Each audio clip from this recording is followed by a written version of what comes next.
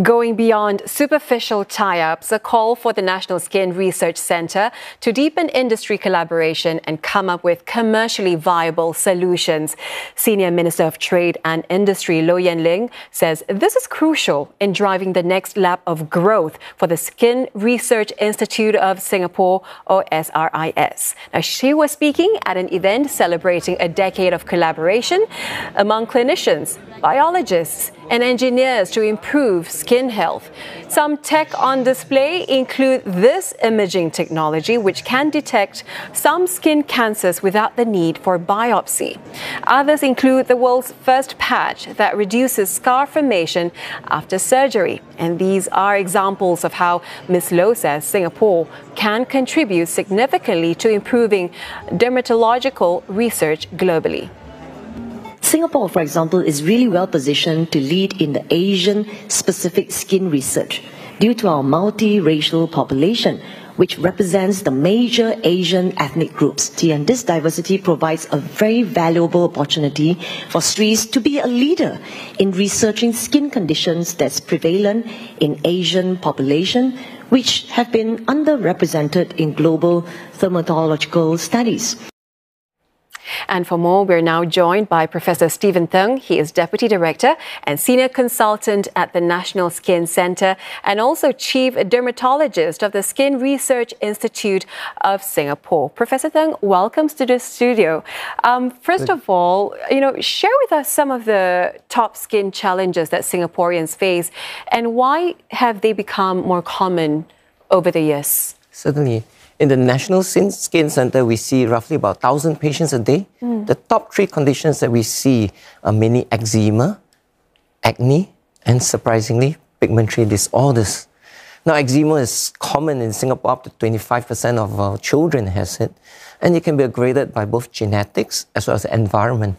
We know the hot, yeah. uh, humid environment is not very good for eczema, especially it causes a lot of house dust mite, and a lot of house dust mite irritate the skin. Mm. And of course, the recent uh, hot weather with uh, direct UV rays on the skin cause increased incidence of skin aging and pigmentation. So these numbers, they have increased over the years. You have seen a, a spike in the numbers. Certainly, the eczema um, rates have roughly been about the same, but the amount of patients suffering from with severe eczema yeah. has gone up. Mm. And, and who are these uh, patients specifically? Are they young children, adults? Well, eczema affects a whole wide range of uh, mm. patients. Mm. We see young kids as young as uh, one year old, five years old, suffering from severe eczema.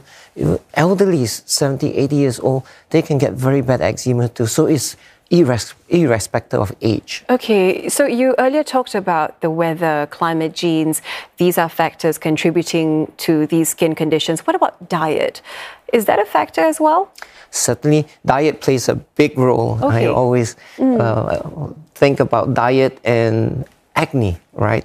We do know that if you take a food that is high in glycemic index, yeah. it can cause an aggravation acne.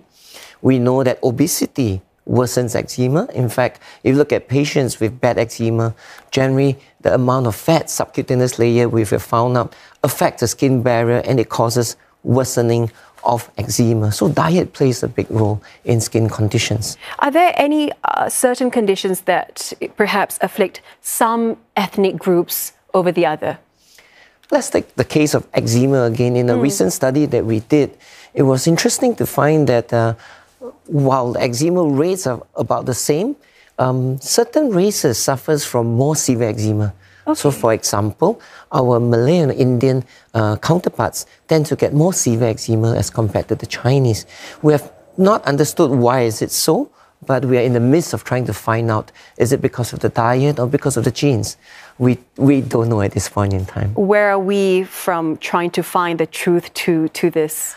I think we are uh, quite some way. Right? We've just gotten a, a good grant for us to study eczema, mm-hmm. and we're going to do a longitudinal study of all these patients, exactly trying to understand what are the factors that cause them to get severe eczema, and more importantly, how can we prevent them from getting to that severe eczema state. I mean, when it comes to this kind of research, right, who are we learning from? What sort of case studies can we draw upon? Generally, most of the research is done in US, in UK, in the Western population. So we can understand their research methodology and try to bring it to Singapore. Mm. But their results are quite different from Asian population. Yeah. We have found that the genes of eczema for Asian is quite different from, uh, from the UK genes. And we also know that aging uh, of the Western uh, population is quite different from our Asian counterparts. So while we can bring in their research methodology, our results will be totally different, and we'll use those results to drive the care we want to give for our patients.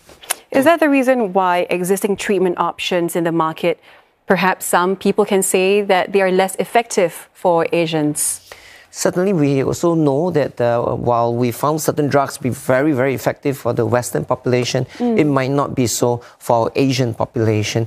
And that's partly because our genes signatures are different. Okay. Our the way the disease goes about is different. Mm. Our diet is different. Our cultural practice is different.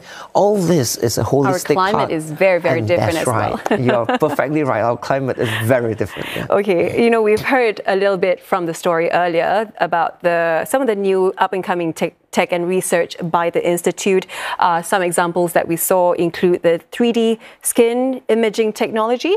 Uh, share with us how these tools have been effective for your patients. Certainly, right now, if you come to the National, National Skin Center, mm. if you suspect you have a skin cancer, we don't cut out your skin cancer anymore.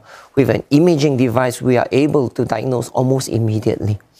We are the first in the world actually to map out skin cancer in three dimensions enabling our surgeon to see exactly how deep, how wide it is, so that we can precisely cut the uh, skin cancer for patients. Mm. So it's reduce uh, relapse rate and reduce scarring. So that's in the area of imaging. What's very exciting is in the area of chronic wounds, uh, part of the results from the Skin Research Institute enable us to reduce amputations by almost two thirds in Tan, Tan Tock Seng Hospital. Mm-hmm. And that's really important because amputation is one of the most severe condition of diabetic foot. And once patients get their foot amputated, their quality of life just drops. Professor Thng, thank you so much for coming in to speak with us about this. We appreciate your insights. That was Professor Steven Thng sharing those insights on skin research in Singapore.